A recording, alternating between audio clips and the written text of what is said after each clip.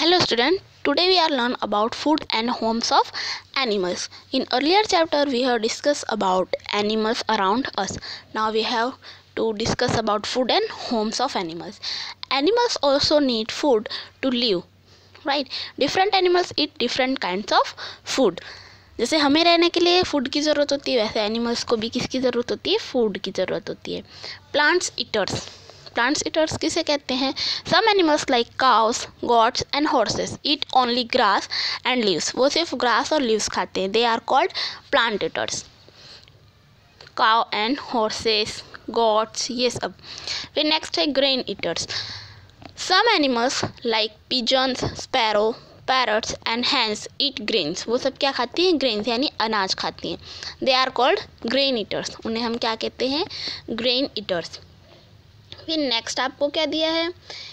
Insect eaters insect eater means some animals like spiders lizards and chameleons eats insects and worms they are called insect eaters जो कि छोटे छोटे छोटे छोटे insects होते हैं, उन्हें खाते हैं, उन्हें हम क्या कहते हैं? इंसेक्ट ईटर्स जैसे कि लिजार्ड आपने अपने घर में देखा हो स्पाइडर देखा हो ना?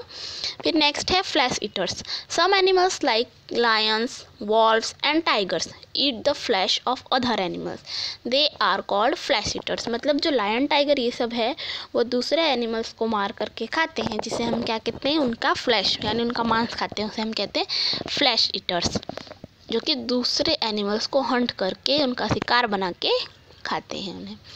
फिर होम्स की बारी आई। ठीक है, हमने फ़ूड देखा क्या क्या खाते हैं। ठीक है कि तो क्या plant eaters grain eaters flesh eaters insect eaters ये सब आए।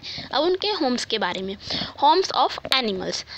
Animals also need homes to protect themselves from heat cold rain and other animals जैसे कि हम रेन हीट कोल्ड और थीव्स वगैरह से बचने के लिए होम्स में रहते हैं। वैसे उन्हें भी किसकी ज़रूरत होती है? होम्स की ज़रूरत होती है। Different animals live in different kinds of homes और अलग अलग एनिमल्स जो है वो अलग अलग तरीके के घर में रहते हैं। A bird makes a nest bird जो है वो क्या बनाती है? नेस्ट बनाती है, घोंसला बनाती है। स्पाइडर मेक अ वेब और स्पाइडर क्या बनाते हैं? वेब बनाते हैं। अ रेबिट मेक अ बोरो और रेबिट क्या बनाता है? बोरो बनाता है, रेबिट बोरो में रहता है। A lion lives in a den lion कहाँ रहता है? डेन में। A monkey lives in a tree a snake live in a hole snake hole में रहता है। इस तरीके से ये सारे इनके होम्स दिए हैं। Animals also live homes made by us और जो हम लोग बनाते हैं घर एनिमल्स का, उसमें वो रहते हैं। वो कैसे हैं? We make shed for cows cow कहाँ रहती है? शेड में रहती है। We make stable for horses horse कहाँ रहता है? स्टेबल में रहता है।